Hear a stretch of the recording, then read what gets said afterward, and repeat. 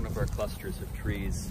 As you can see, they're a bit parched. Summer droughts and the heat of everything is making it a bit hard to keep up with the watering, but they're still alive, so that's a good start.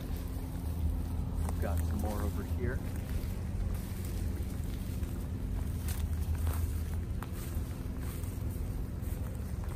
One of the things we do when we plant them is we bring in uh, homemade vermicompost, leaf mold compost, locally sourced organic cow manure, and some soil from an area we know is significantly more healthy.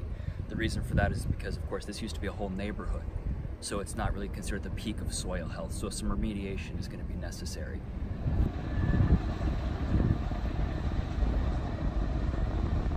Eminent domain is the government's power to take private property for public use. Nobody particularly likes it, but occasionally it's essential to make way for roads, schools, hospitals, and the like.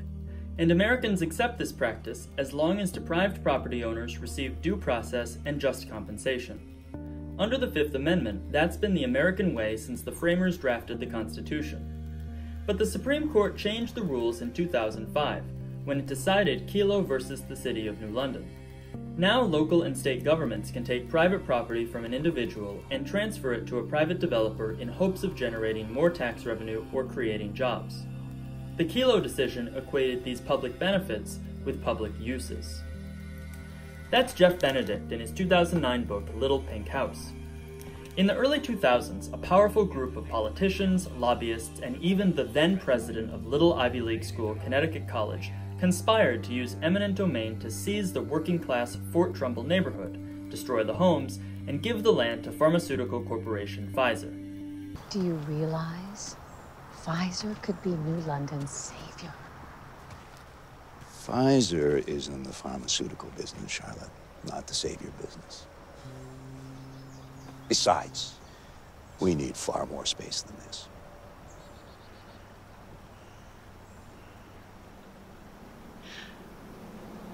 Thank you, Howard, For what? for telling me what you need. That clip is from the film adaptation of Little Pink House. The Fort Trumbull residents, unhappy with the prospect of their homes being destroyed and their land given to a private corporation, fought all the way to the U.S. Supreme Court. The residents lost, however, and the court ruling was criticized by everyone from the NAACP to the American Conservative Union to the ACLU to even President George W. Bush. And after these residents were forced out of their homes, Pfizer ended up deciding against moving to New London. So the final price tag of this for the state of Connecticut and the city of New London was approximately $78 million, and the approximately 3,200 jobs and 1.2 million in tax revenue never ended up materializing. As of today, the plot of land remains abandoned. And that's what brings us to these two gentlemen Adam O., who asked us not to share his last name, and Hayward Gatch. They're a part of a local anarchist group called the New London Mutual Aid Collective, and they've decided to take matters into their own hands. Um, very early on, our project involved helping folks in pretty much every possible way we could imagine. So, of course, part of that would be food acquisition. So, as a result, we did a lot of guerrilla gardening. Eventually, that involved doing some guerrilla gardening in this area. It was pretty much abandoned for close to 15 years now, and so it seemed like a great place to add some of our plants to draw from for some of our other efforts. Of course, there's a certain danger to planting in the city because you might have development in a place where you didn't expect it to happen. We had a tree and a bunch of plants in a vacant lot with a house on it that happened to be leveled last week.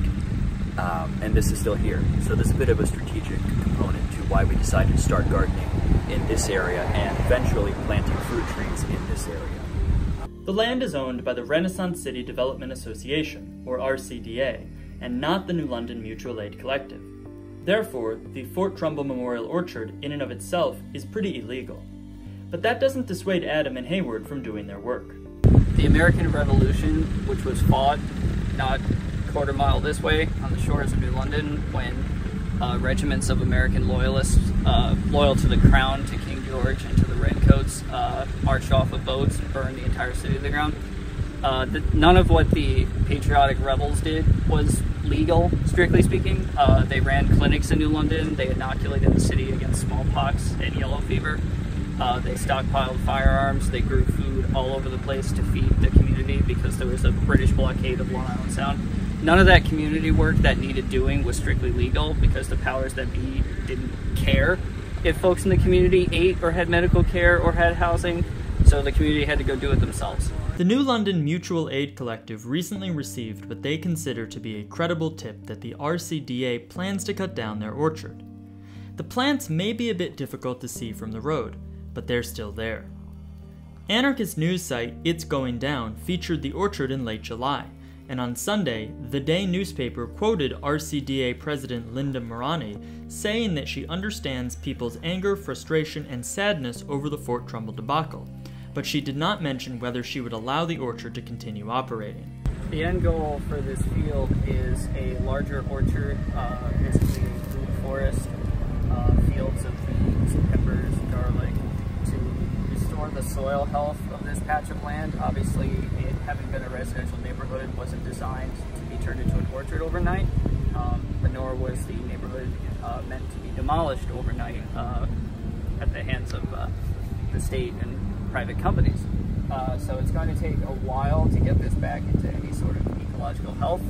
Um, but until that happens, it's a useful spot to do this work, and we're gonna, we're left alone, we're gonna go keep on doing it. At the time of publication, the orchard is still there. Given how unpopular the Kelo Supreme Court decision was, I cannot imagine that a public figure in New London would want to be seen as destroying an active charity that exists on the Fort Trumbull property even if it is technically breaking the law. And that's especially true if the land will only be cleared so that it can continue to remain abandoned. We were looking for a place to put fruit trees. We've been gardening here for quite a while because it's available. Uh, so the coincidence of it being attached to the Fort Trumbull eviction is certainly fortunate as far as PR goes, but it wasn't the initial intent. You know, we're trying to find a place that we could turn into a food forest, and this is pretty much the largest open spot in New London, and it also is the most unused spot in New London. So it really seemed like a great option. Um, you know, so it's not so much a protest against the eminent domain, although it has become that, because a lot of people have some pretty sore feelings about that and still do.